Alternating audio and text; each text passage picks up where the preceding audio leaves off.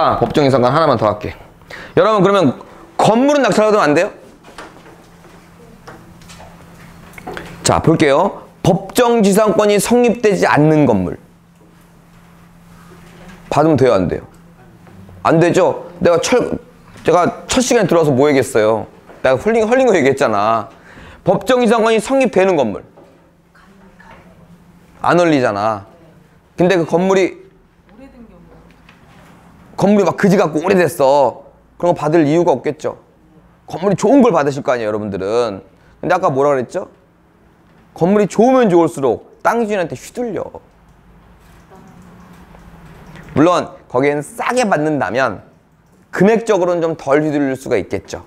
하지만 법정 이상권이 성립하더라도 지료는 내야 되고 안 내면 뭐 또 헐릴 수- 철거될 수도 있고 마지막으로 평생 가는 건 아니라는 거지 건물이라는 게. 그래서 주는 값은 사실 땅이에요. 제가 헐려봐서 그런 얘기를 하는 건 아닙니다. 자 그런데 그게 나왔어 경매가. 근데 뭐만 나왔어? 건물만 나왔어. 법정 이상권은 성립하지 않아요. 아니 어 성립하지 않아요 그래갖고 이제 청담동에 빌라가 7억에 나왔다는 거야. 갖고 오셨어. 그래갖고 아 이거는요 건물만 나온 거예요. 건물은 서울에 경기도에 짓든 서울에 짓든 물론 청담동은 고급 자재를 쓰긴 하겠지만 짓든 건물값은 거기서 거기니까 건물값만 집중되니까 이거 7억에 나온 거예요. 한 30억 가는데 조그만 큰 건 아니었으니까 또 갖고 와서 다음 달에 6억에 나왔대. 하면 유찰된 거지 이제. 아, 여기는 건물만 나온 거라 건물만 감정한 거니까 6억에 나온 거예요. 다음 다음 달에 또 갖고 와 누가 5억에 나왔대. 그러니까 그만큼 싸다는 건 여러분들이 아시는 거야. 근데 그래서 1억까지 되더라 그게. 그래갖고 1억에 1억에 나왔대. 이거 뭐니? 그때 어 그때 건물 철거 소송 중이었어요. 1억에 나오니까 내가 이제 대답을 달리 했어요. 한번 해보실래요? 이렇게.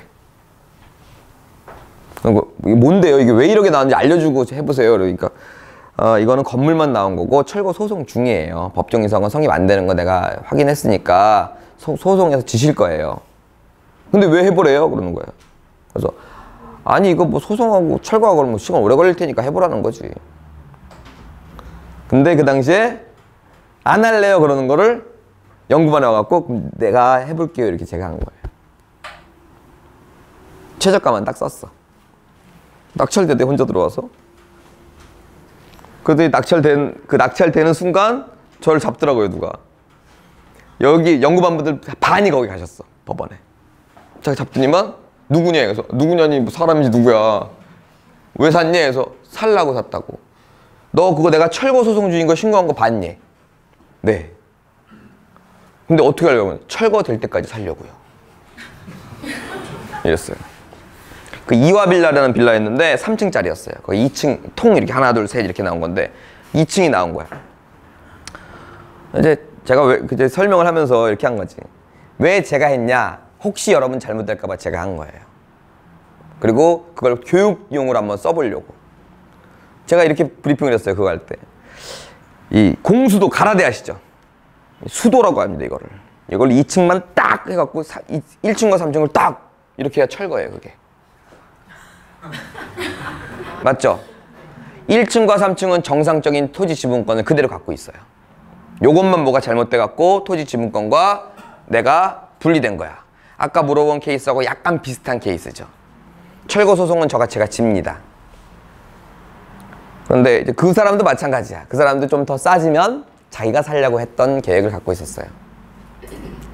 제가 지금은 안 그러지만 옛날에는 그런 거 많이 했어요. 그 상대방 약간 괴롭혀갖고 돈 버는 거, 도로, 뭐 아까 그런 그런 거.